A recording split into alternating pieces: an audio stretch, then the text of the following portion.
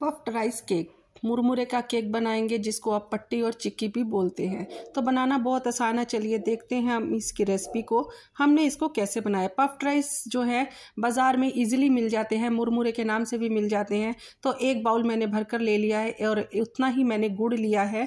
गुड़ थोड़ा कम रखा है। तो अभी हम क्या करेंगे? पफ्ड राइस जो है मुरमुरे को हम हल्का सा दो से तीन मिनट रोस्ट कर लेंगे। कलर चेंज नहीं होने देंगे, और इसको अच्छा सा जैसे क्रिस्पी होता है, इस तरीके से कर लेंगे। तो अभी हमारा हो गया, हम इसको निकाल लेते हैं एक बाउल में। अब हम उसी कढ़ाई में गुड़ डालेंगे और गुड़ के साथ ही एक से दो चम्मच पानी डालेंगे और इसको अच्छे से उबाला आने देंगे। तब तक हमें ट्रे या थाली को ग्रीस कर लेते हैं, जिसमें कि हम इस केक को सेट करेंगे। तो चारों तरफ़ से मैंने अच्छे से ग्रीस कर लिया है और अब हम क्या करेंगे, एक बार गुड़ को चेक करते हैं। तो गुड़ हमारा मेल्ट होना शुरू हो गया है और अच्छे से मेल्ट होते होते जब इसमें से झाग निकलने लग जाएगी तो हम इसमें डालेंगे डालेंगे देसी घी। तो एक चम्मच भरकर मैंने इसमें देसी घी डाल दिया है और ये ज़रूरी डालिएगा क्योंकि इससे शाइन भी आएगी और चिक्की अच्छी भी बनेगी। अब गुड़ पका है कि नहीं, एक कटोरी लेंगे और कटोरी में इसको चेक करेंगे। तो अभी गुड़ जो है हमारा बहुत ही नरम है तो इसका मतलब अभी गुड़ हमारा सेट नहीं हुआ। तो अभी हम इसको और पकाएँगे और दो मिनट के बाद फिर से हम इसका टेस्ट करेंगे।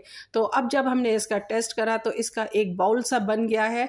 तो बाउल बनने का मतलब है हमारा गुड़ जो है एकदम रेडी है पफ्ड राइस के लिए तो अब हम इसमें पफ्ड राइस डाल देंगे और इसको अच्छे से मिक्स करेंगे। इसको अच्छे से मिक्स करेंगे और गैस को बंद कर देंगे। गैस बंद करने के बाद इमीजिएटली जल्दी से अब हम इस प्रोसेस को करेंगे और इसको हम सीधे थाली में डालेंगे सारे के सारे मिक्सचर को। तो थाली में इस तरीके से डालते हुए हम इसको अच्छे से सेट करेंगे ताकि ये अच्छे से एक पूरा जो जमने के लिए चिक्की जो है तैयार हो जाए। तो अच्छे से एकदम फ्लैट करते हुए हम इसको दबाते हुए इसको सेट कर लेंगे। साथ में अभी गर्म है तो हम इसमें इस तरीके से निशान लगा लेंगे। निशान छोटे, बड़े कितने आपने करने हैं उसी हिसाब से लगाइए।